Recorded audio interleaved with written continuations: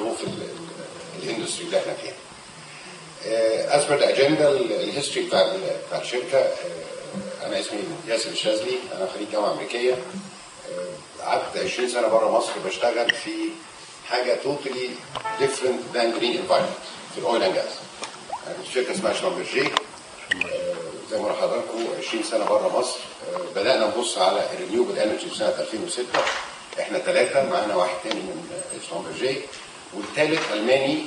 His experience تقريبا 20 years في ال green environment في ال solar energy بدأنا آه، في 2006 آه، بنشتغل بنظام EPC ده ال business segments بتاعت الشركة. الشركة ال main office بتاعها في آه، سالزبورغ في Austria آه، فتحنا فرع في دبي وفتحنا فرع في مصر آه، بعد يناير 2011 ال-